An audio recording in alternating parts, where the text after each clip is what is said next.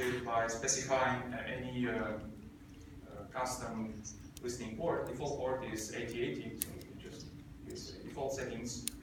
Here I'm showing how to launch it with a custom uh, listening port. And here I'm also specifying uh, an access URL to Selenoid in order to be able to get the status of running sessions. So having this binary uh, running uh, on the server, we can now launch our tests in debug mode by adding one more capability like this, enable VNC. Uh, and uh, we should also place, we should also add a breakpoint uh, where we need uh, to have it. So we launch a session, wait for our program to reach uh, this uh, breakpoint in the code, and we'll now be able to see our browser session being executed inside the browser window. So from 10 to 50 seconds to start the session.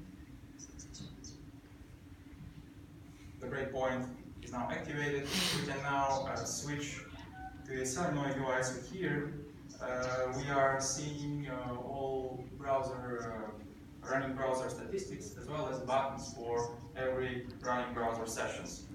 So uh, by clicking on a button, we are now able to see just the same uh, Selenium session being shown inside your browser.